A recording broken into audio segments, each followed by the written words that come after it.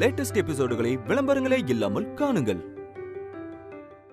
மீனாட்சி அம்மா நான் உங்க மேல ரொம்ப மரியாதை வச்சிருக்கேன். ஆனா இவ்ளோ நடந்திருக்கு ஒரு வார்த்தை? ஒரு வார்த்தை நீங்க கூட என்கிட்ட சொல்ல மாட்டீங்களா?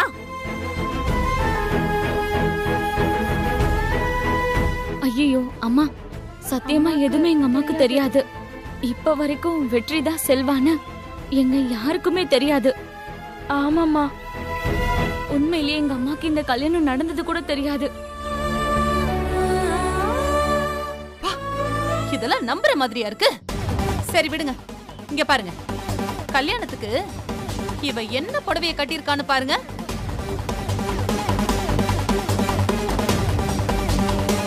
இது நீங்க இவளுக்கு கொடுத்த புடவை. என்னோட தம்பி வாங்கி கொடுத்த புடவை எங்கன்னு அவகிட்ட கேளுங்களேன். சொல்லு.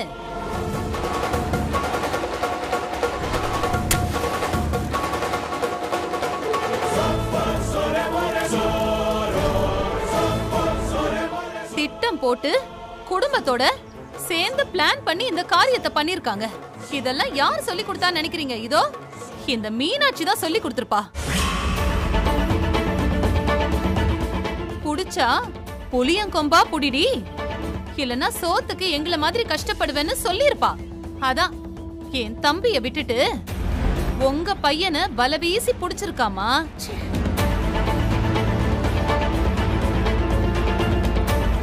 மா இதுங்கெல்லாம் சொத்துக்காக அலையிற குடும்பம்.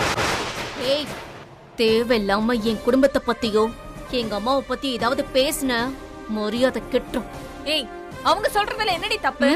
உன் குடும்பத்தை பத்தி எனக்கு தெரியாதா? நல்ல பணக்கார பையனா பார்த்து பேசி மயக்கிற குடும்பம் தானடி உங்க குடும்பம்? அதனாலதான் நானும் வெற்றியும் எங்க போனாலும் நீ அங்கங்க வந்து நின்றுக்க. இப்பதான் எனக்கு எல்லாமே புரியுது. என்னைக்கு நீ எங்க வீட்ல வெற்றியை ஃபர்ஸ்ட் பாத்தியோ அன்னையில இருந்து நீ பிளான் போட்டு இது எல்லாத்தையுமே பண்ணிருக்க. இதுக்கு உன் ஒட்டுமொத்த குடும்பமும் சப்போர்ட் பண்ணுதா?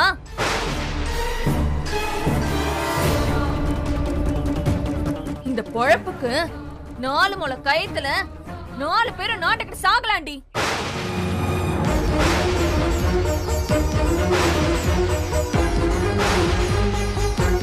இன்னும் ஒரு வார்த்தை பேசுன? உனக்கு அவ்வளவுதான் மரியாதை. ஏய் யார் முன்னாடி நின்னு பேசிட்டு இருக்க ஆ? ரங்கநாயகி முன்னாடி நின்னு பேசிட்டு இருக்க மறந்துடாத. அது தெரிஞ்சா ஏன் இவ்ளோ திமிர எடுத்து ஆட போறா? பூஜா சொன்னதுல என்னடி தப்பு? ஆ? அவ சொல்றதுதான் உண்மை. அத்தை இவ வெற்றியை வளைச்சு போட பல தடவை ட்ரை பண்ணான் வெற்றி எப்பவும் கையில ஒரு தாஜ்மஹால் வச்சிருப்பான்ல? அது யார் கொடுத்தான்னு கேளுங்க. அத்தை அது இந்த சக்தி கொடுத்தது அத்தை. அது நான் செல்வாக்கு பிடிச்சிருக்குன்னு சாதாரணமா வாங்கி கொடுத்தது. சாதாரணமா தாஜ்மஹால் தான் வாங்கி கொடுப்பாங்களா? சரி விடு. லவ் எல்லாம் இல்லாம சாதாரணமா தான் வெற்றி கூட ஒரு நாள் ஃபுல்லா தனியா ஒரு வீட்ல தங்கி இருந்தியா சி நீ எல்லாம் ஒரு பொண்ணா? பூஜா. என்னைய அத்த கத்துறீங்க? இதோ நிக்கிறானே உங்க புள்ள. அவகிட்ட கேளுங்க. சொல்லுடா சொல்லு. இவ சொல்றது உண்மையா? அம்மா தயவு செஞ்சு புரிஞ்சுக்கோங்கம்மா. நான் உங்களுக்கு தனியா எல்லாத்தையும் விளக்கமா சொல்றேம்மா. ஏய் பூஜா சொல்றது உண்மையா இல்லையா? ஆமா இல்லங்கறத தவிர்த்து இங்க எதுவும் பேசக்கூடாது. உண்மைதாம்மா. இதெல்லாம் தெரிஞ்சிருந்தும் ஏன் பூஜா என்கிட்ட முதல்லயே சொல்லல? உங்க மனசு கஷ்டப்படக்கூடாதுன்னு தான் நான் சொல்லல. இவன் கிட்ட என்ன கல்யாணம் பண்ணிக்க சம்மதமா நீங்க கேட்டப்பெல்லாம் இவனும் சம்மதம் தானே சொன்னான். சரி உங்க பேச்சுக்கு கட்டுப்பட்டு என் கழுத்துல தாலி கட்டிடுவான். அப்புறமா இவனை பாத்துக்கலாம் நான் நினைச்சிட்டேன். ஆனா இப்படி இவ கழுத்துல தாலி கட்டி கூட்டிட்டு வருவான் நான் சத்தியமா நினைக்கல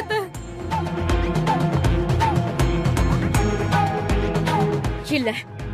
நான் சொன்னது சொன்னதுதான். என்ன ஆனாலும் சரி. இந்த கல்யாணத்தை நான் ஏத்துக்கவே மாட்டேன். வெற்றிக்கும் இவளுக்கும் நடந்தது கல்யாணமே இல்லை. இவ என் மருமகளே இல்ல.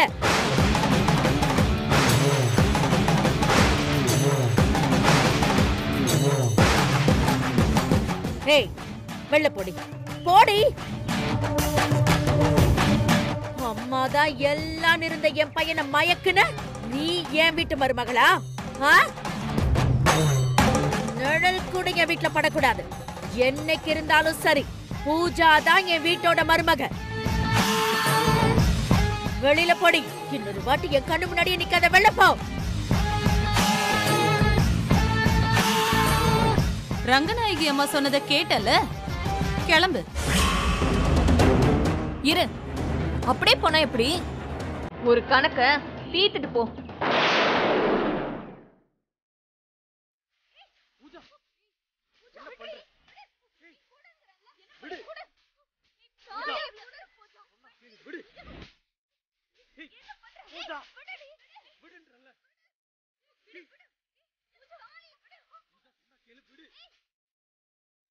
not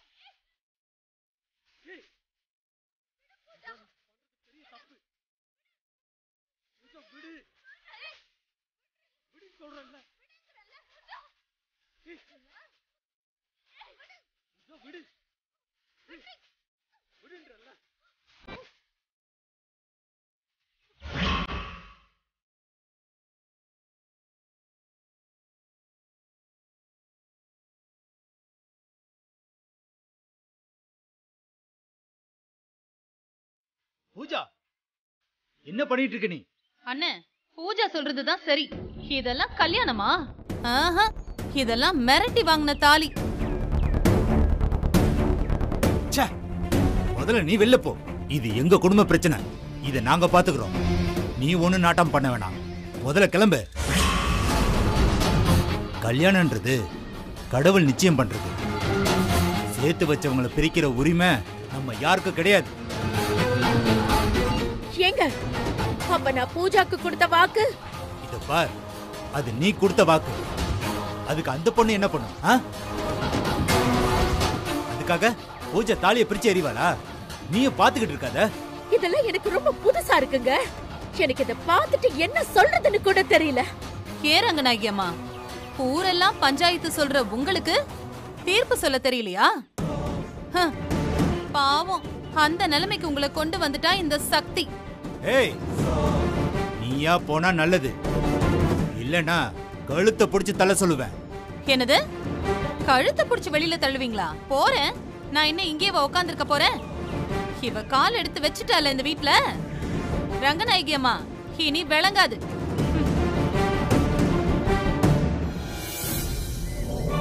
ரங்கநாயகி இப்ப நாம செய்ய வேண்டியது ஒண்ணே ஒண்ணுதான். நம்ம மருமக சக்திய நம்ம வீட்டுக்கு கூட்டிட்டு போறது மட்டும்தான். மத்த எல்லாத்தையும் வீட்ல போய் பேசிக்கலாம். ஆமாமா அப்பா சொல்றதாம்மா சரி.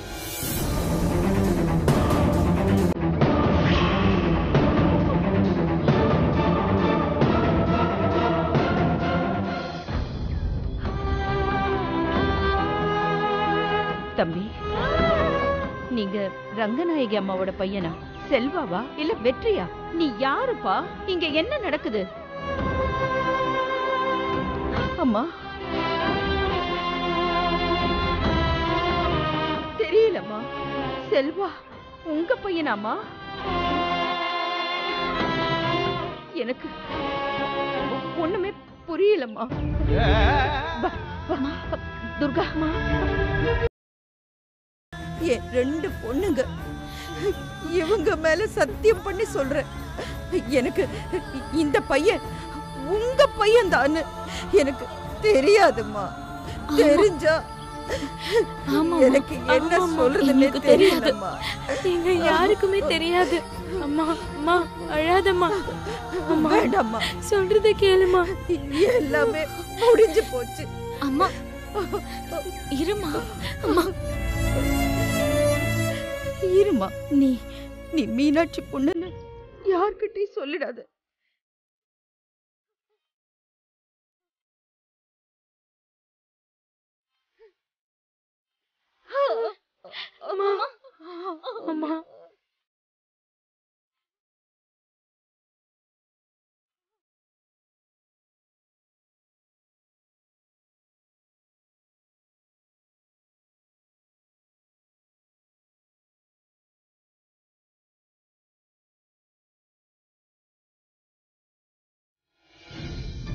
என் பொண்ணுதான் இந்த வீட்டு மருமகன்னு சொல்லி என் பொண்ணாலதான் உங்களுக்கு பேச்சே வந்ததுன்னு சொல்லிட்டு இப்ப நீங்களே சக்தி தான் மருமகன்னு சொல்றீங்களா? இந்த பாவெல்லாம் உங்களை சும்மா விடாதுன்னு. சரளா பேசாதீங்க நீ உங்களை நம்பி நம்பி நாங்க மோசம் போனதெல்லாம் போதும். இத பாரு சரளா நான் சொல்றத கொஞ்சம் கேளு. என் பையன் பண்ணது பெரிய தப்பு தான் அதுக்கு பிராயச்சித்தமா பூஜாவுக்கு என் பையனை விட நல்ல பையனா பார்த்து நாங்களே கல்யாணம் பண்ணி வைக்கிறோம். அது வரைக்கும் பூஜா எங்க வீட்லயே இருக்கட்டும்மா. போதும் அண்ணி போதும். என் பொண்ணு உங்க வீட்ல இத்தனை நாள் அவமானப்பட்டதெல்லாம் போதும். ஆனா அண்ணி வயிறு எரிஞ்சு சொல்ற. எங்களை ஏமாத்தின பாவம் உங்க குடும்பத்துல யாரையும் சும்மாவே விடாது. சரளா. இங்க பாரு ரங்கநாயகி அவ ஏதோ கோவத்துல சொல்லிட்டு போறா. கொஞ்ச நாள் போனா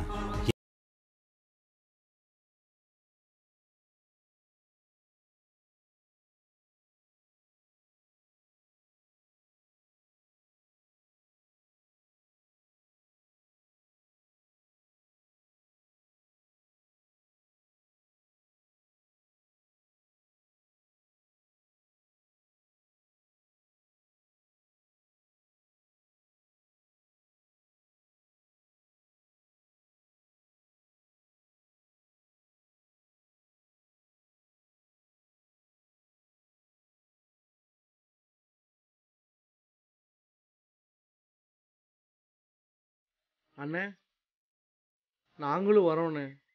டேய் நீங்கள் வந்து என்னடா பண்ண போறீங்க? போங்கடா நீங்களாவது போய் நிம்மதியா இருங்க. அண்ணா அம்மா ரொம்ப கோவமா இருக்காங்கண்ணே. பின்ன? அவங்க கோவம் நியாயம்தானடா. எவ்வளோ கற்பனை பண்ணி வச்சிருப்பாங்க. எல்லாரும் முன்னாடி இப்படி தலை குனிகிற மாதிரி பண்ணிட்டேனடா.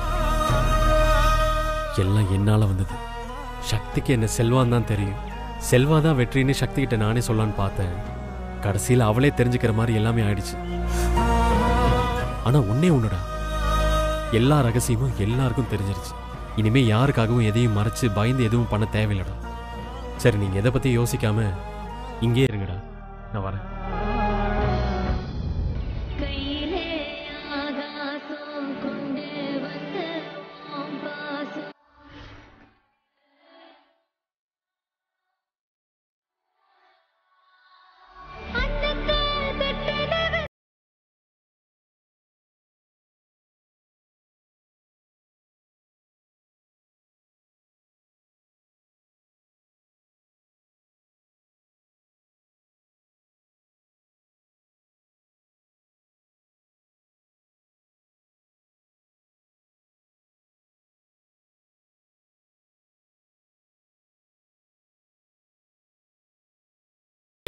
காரை நிறுத்துங்க காரை நிறுத்துங்க.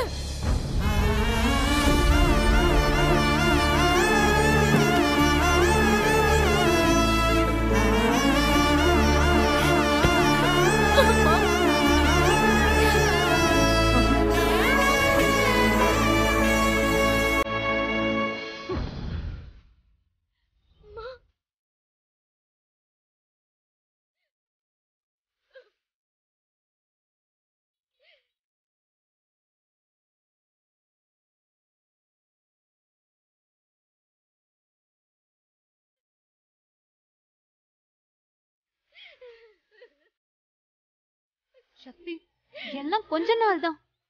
இங்க பார் போக போக எல்லாம் சரியாயிடும் சக்தி.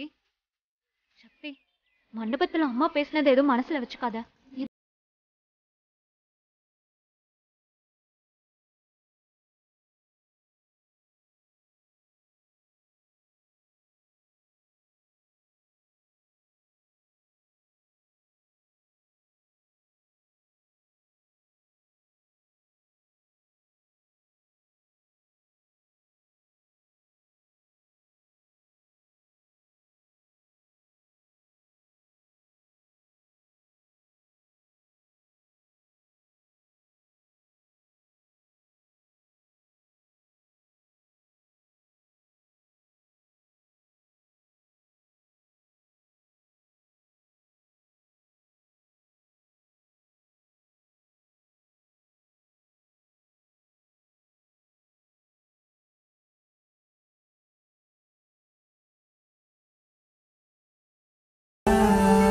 நீங்க கூட என்கிட்ட எல்லாத்தையும் மறைச்சிட்டீங்களே.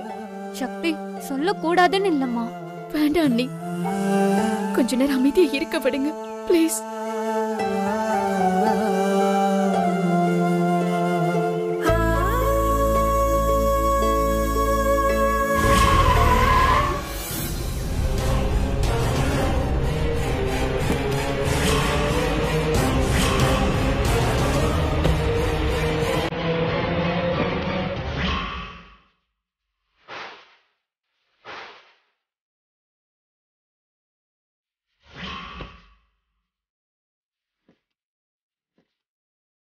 ஏய் இறங்கு முதல்ல.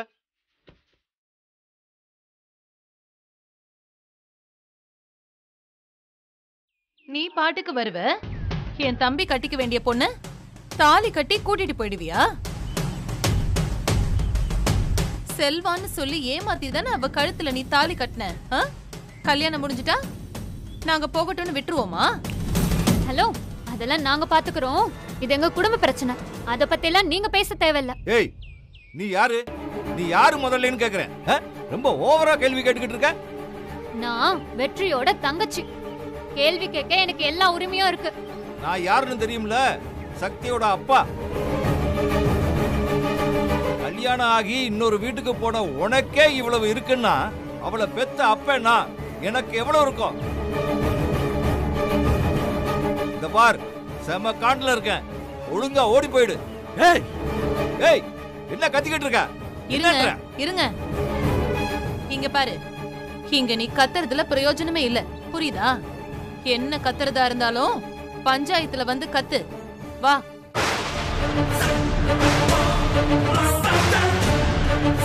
என்ன அப்படி பாக்குற? இங்க பாரு பஞ்சாயத்தை கூட்டிட்டு தான் நாங்க இங்க வந்திருக்கோம். இன்னும் கொஞ்ச நேரத்துல உங்க அம்மா அப்பா எல்லாரும் பஞ்சாயத்துக்கு வந்துருவாங்க. வீட்டுக்கு அவங்கள கூப்பிடுறதுக்கு ஆளு போயாச்சு தெரியுமில்ல? நீயும் வா. பஞ்சாயத்தெல்லாம் எதுக்கு? அதெல்லாம் வர முடியாது. வர முடியாது. இந்த பாரு. நீ வரலைன்னு மட்டும் வச்சுக்க. உங்களை அப்படியே குண்டு கட்டா தூக்கிட்டு போயிடுவேன். அதுக்கு ஆளுங்களை ரெடி பண்ணி வச்சுட்டு தான் வந்திருக்கேன் பாக்குறியா? இத பாரு வெற்றி. ஒழுங்கு மரியாதையா நீயே வந்துட்டேன்னா உனக்கு நல்லது. சக்தி செல்வான்னு உன்னை நம்ப வச்சு ஏமாத்தி இவன் உன்னை கல்யாணம் பண்ணிருக்கான். இவன் கூடவா நீ வாழ போற. இத பாரு உன் வாழ்க்கைய நான் காப்பாத்துறேன். நீ ஒண்ணு கவலைப்படாத. இத பாரு வெற்றி அவ சின்ன பொண்ணு. அவகிட்ட நீ என்னென்னமோ பேசி நடிச்சிட்டா அவ நம்பிடுவான்னு நினைச்சியா? அதெல்லாம் பார்த்துட்டு நாங்கெல்லாம் பூ பறிச்சிட்டு இருப்போம்னு நினைச்சியா? ஆ? ஏண்டா? நீ எவ்ளோ பெரிய ரவுடி ஆ? அதையெல்லாம் மறைச்சு செல்வாங்கிற பேர்ல எங்க வீட்டு பொண்ணை ஏமாத்தி அவ கூட பழகுனது மட்டும் இல்லாம இப்போ அவ கழுத்துல தாலி வேற கட்டியிருக்க ஆ? பொண்ணெல்லாம் அப்படியே விட்டுருவோமா நாங்க? வாடா வா பஞ்சாயத்துக்கு. வரலன்னா என்ன பண்ணுவீங்க? ஆ? ஏய் ராது கொடுத்துருக்கிறது ஓ மேலையும் உங்க அம்மா மேலையும் தான். நீ மட்டும் இப்ப வரலைன்னு வச்சுக்க. உங்க அம்மா இங்க தலை குனிஞ்சு நிப்பாங்க பாத்துக்க.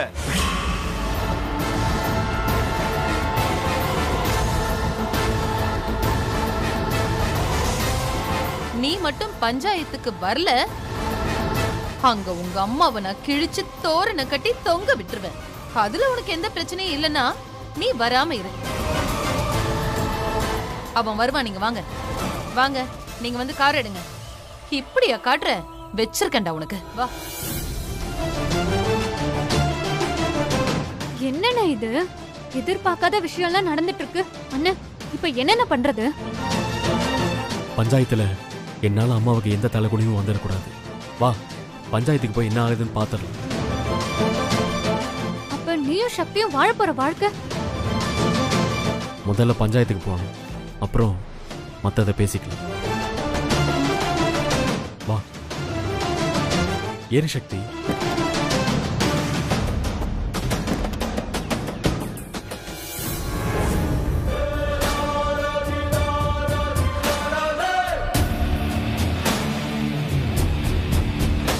என் வாழ்க்கையில இப்படி ஒரு அவமானத்தை நான் பட்டதே இல்லைங்க. கடைசியில வெற்றி. நம்ம கிட்ட இருந்து எவ்வளவு விஷயத்த மறைச்சிருக்கான் பாத்தீங்களா? ச்சே.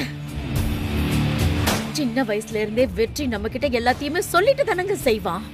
அப்படிப்பட்ட நம்ம வெற்றியா இவ்வளவு பெரிய காரியத்தை செஞ்சாங்கறத என்னால நம்பவே முடியலங்க. ஏங்க இப்ப நம்ம குடும்ப சொந்தக்காரங்க எல்லாம் கேட்பாங்களேங்க இது எப்படி நடந்துச்சு இது எப்படி நடந்துச்சுன்னு எல்லாருக்கும் நான் என்னன்னு பதில் சொல்வேங்க? எங்க பாவங்க அந்த பூஜா. அழுதுகிட்டே ஓடினா அவகிட்ட நான் எத்தனை தடவை சொல்லிருப்பேன் தெரியுமா? நீதான் என் மருமக நீதான் என் மருமகன் அத்தனை சத்தியம் பண்ணிருக்கேன் இப்ப நான் அவளுக்கு என்னங்க பதில் சொல்லுவேன்?